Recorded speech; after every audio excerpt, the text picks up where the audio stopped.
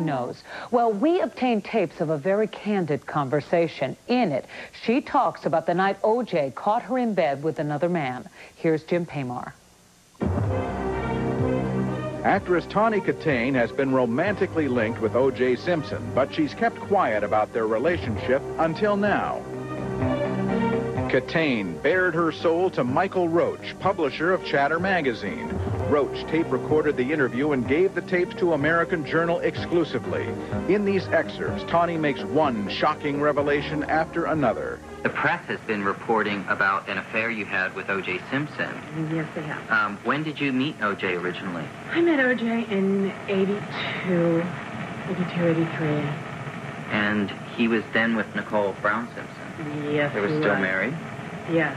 And you Good had- luck pulling this out of me, Michael. What? Good luck pulling this out of me. You're not going to talk? Well, what do you want to know? well, um, how long did the affair last? oh, Or is this another one of those friendships that you've had? Oh, yeah, exactly. um, uh, affair, affair. Michael, that's a funny word, affair. Okay. What does it mean? Affair or not, did Nicole and Tawny ever come face to face over the relationship?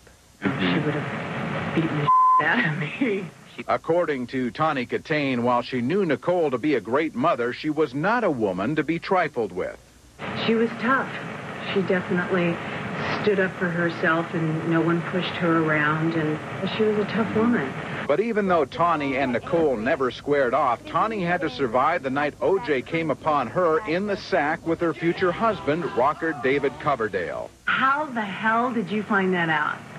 I live in Hollywood. Oh, my God. But OJ had keys to your house. No, he didn't. How did he come into your house?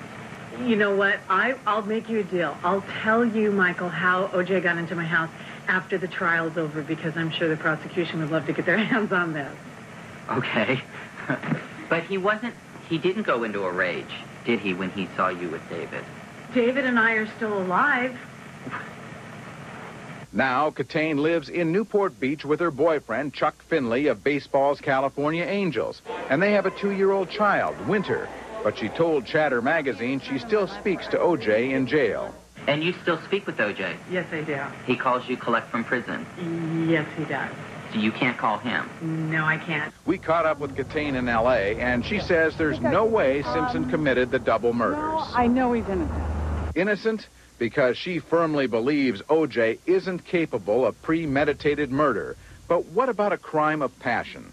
Look, I have been so pissed off before at a lover that if we were in the kitchen and there were knives around, you know, I mean, you can see how people can get so pissed off that they pick up a knife and just, you know, stab someone or shoot someone.